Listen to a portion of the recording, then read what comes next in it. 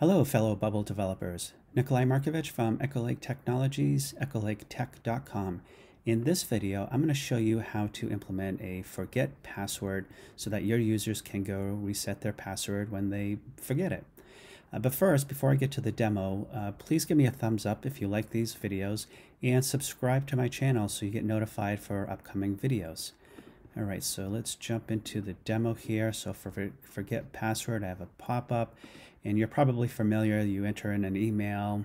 Now, in this design here, I actually have two approaches for resetting the password. The first one that I'll walk through in this video uh, goes with a standard approach. And by standard, I mean Bubble has out of the box um, design already and it has a page set up for doing the reset of a password. And in a subsequent video, I'm going to show you a more customized way of implementing the password reset. Now for this one, I've actually already got a password um, email sent. And right here, this is basically Bubble's standard template for, for wording uh, for doing a password reset. And what I'm going to do now is come over here. All right, so this is again Bubble's standard template for doing a password reset. And I'm just going to go in and type in reset. Now this here is not standard as part of Bubble's reset. So I've added a pop-up here to go to a home page here and I'll click on it. And you'll see I'm already logged in for, for this particular account.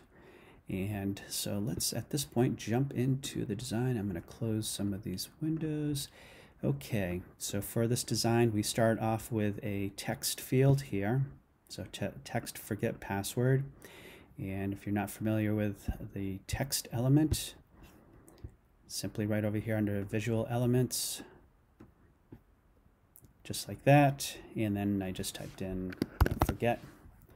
It looks like Siri is trying to copy here. I didn't get that. you gotta love Siri, folks. Okay, so for this, start in edit workflow and for this workflow, it's fairly simple. It's just going to open up a pop-up. And if you're not familiar with that, uh, so element actions, and then show, and then the pop-up, and the name of this pop-up pop-up is reset uh, password request. Now let's jump over to that part of the design. So reset password request. So here is the pop-up. And on here, I've got, again, a simple text field for reset forgotten password. Let me jump to the text editor here real quick. So for this, I've just color coded it. If you're not familiar with the color coding, you just come to this little icon here and I just changed that to blue. I've also centered it. The default value is over to the left. And then I have this input field here, input, enter your email. And uh, this is a fairly straightforward element as well. Let me just jump over to input. So input right here. And I'll just put that on here. And the default value is type here. The one thing you want to make sure is that the default is text for the format, and you want to change that to email. So that's a, a critical uh, format that you want to update. The other thing I, I put on here, if you look real quick, is I have enter clicked and input uh, not empty. So if you come over here, just simply clicking on those. The reason uh, why I chose these um, for enter, I, I wanted the user to really be forced into uh, hitting a button. Uh, part of the reason also is because I do have two choices on here, the standard, which I'm going through in this design, and then a custom approach for doing reset, which I'll have in a subsequent design. The next thing is the input should not be empty. So basically, you don't want your user to hit these buttons and then not have an email address in here at, as, at all. Okay, so then we have these buttons, standard and custom. And so for button, if you're not familiar, it's uh, right up here under visual elements button like that and then type in for this one it was standard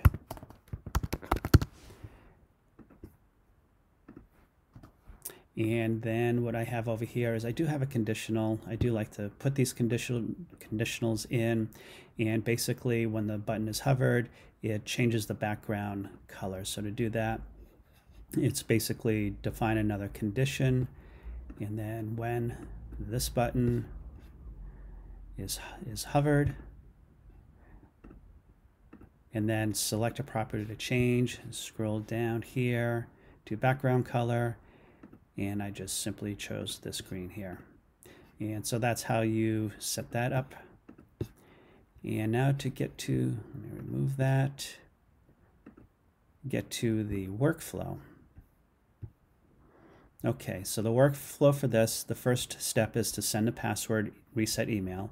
So again, this is standard bubble here, this wording and so forth. I didn't make any changes to it in this design. You certainly can customize it however you would like.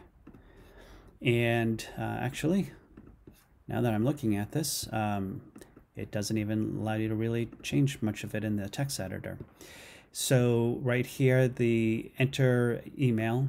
So this is simply input, enter your email value.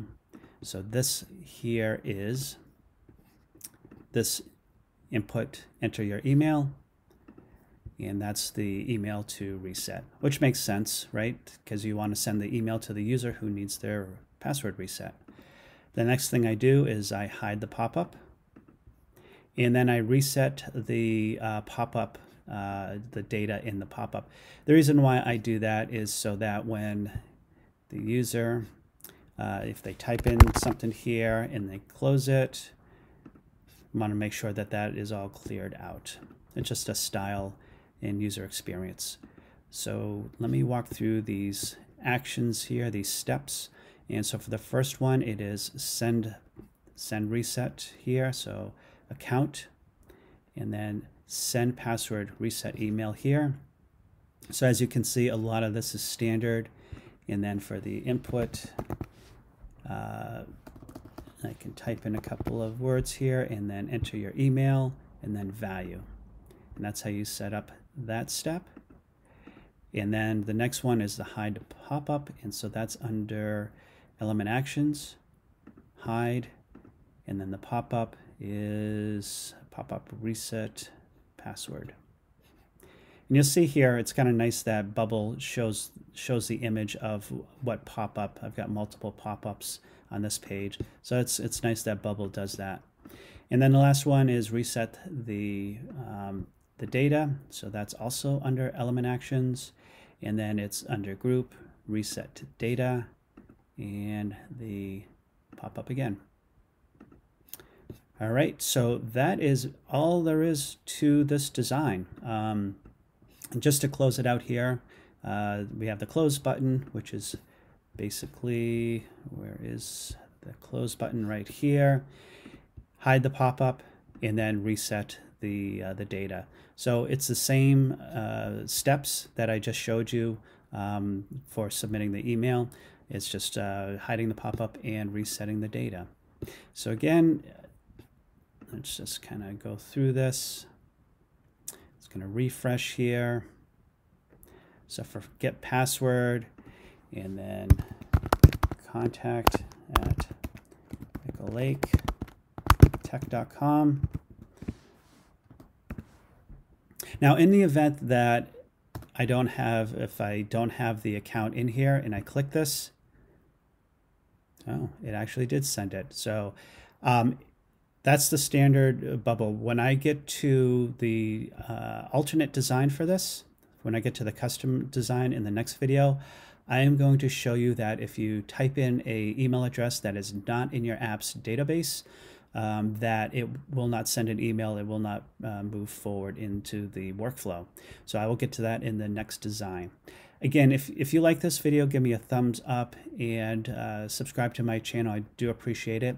And I will see you in the next video when I'll walk through the custom design. Thanks.